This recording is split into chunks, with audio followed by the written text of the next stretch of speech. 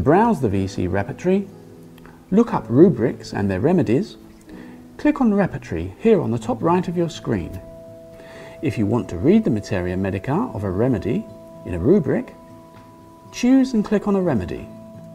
To navigate inside the repertory, just click on a repertory chapter to see its contents. Here, in the search text field, type some keywords of the rubric you are looking for. For instance, desire sweets, and then click search or press enter.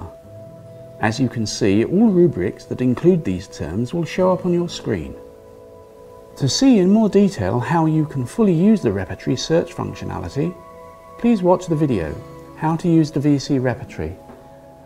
To access the Materia Medica page, go to the top right of the window. Click on Materia Medica, which opens in a new window. Click on any remedy. You can read the different Materia Medicas we have available. The authors we have currently included are George Vithoulkas, Boericke, Clarke, Kent and Allen. If you wish to add your own notes to a remedy, click here on the My Notes tab and then click Add Notes to add your own notes to a remedy. Type in your remedy notes and then click Save Notes.